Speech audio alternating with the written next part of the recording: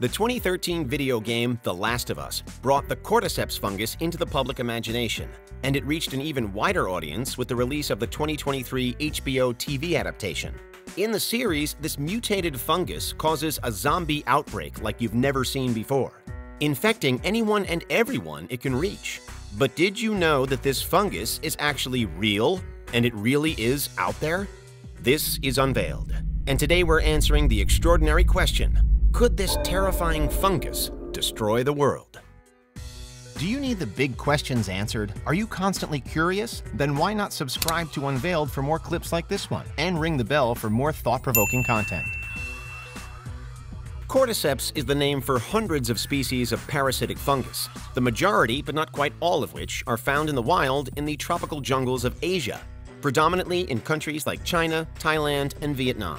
Some are found a little further away from the most tropical areas, but they all need consistent heat and humidity to survive.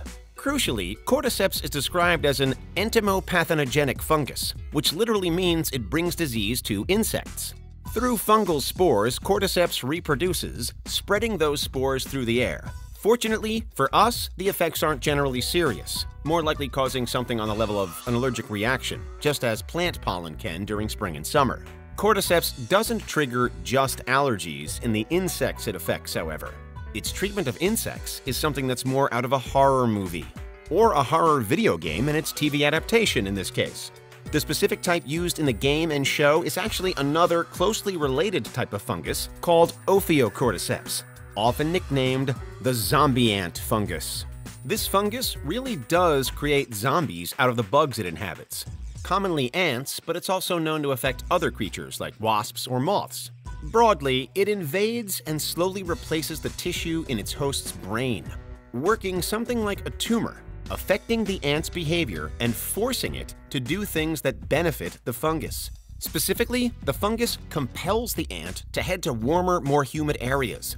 Once there, it guides the insects to bite down on a leaf, where it remains until it succumbs to the fungus fully. From here, the fungus is able to sprout through the ant's exoskeleton, killing it in the process in an extremely grisly way. Once complete, those newly emerging heads of fungus can release spores again, and the cycle begins anew with other surrounding insects becoming the next that are under threat.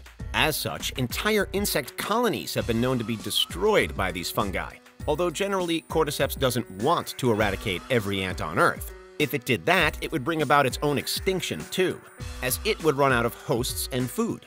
Over time, then, it's adapted to ensure that insect populations do at least remain. It's not like cordyceps is a virus that wants to multiply and spread endlessly.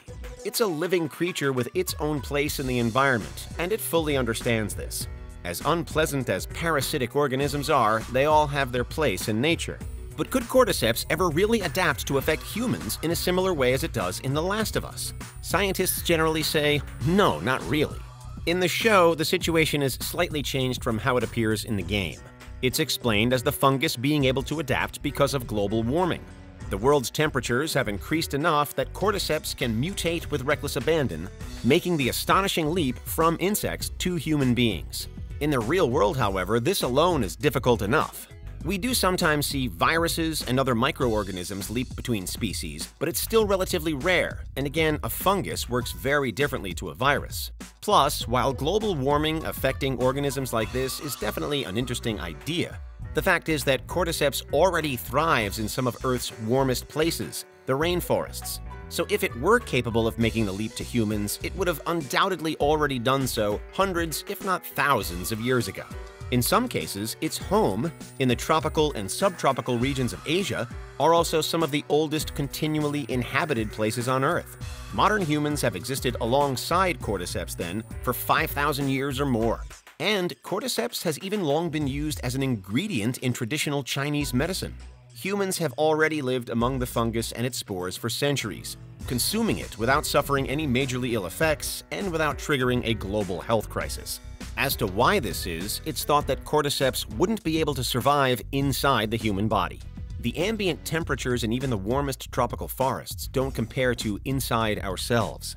Meanwhile, the insects that do host it are cold-blooded, which means that unlike with us, their body heat remains the same as the rainforest that's around them, making them an ideal base for the fungus.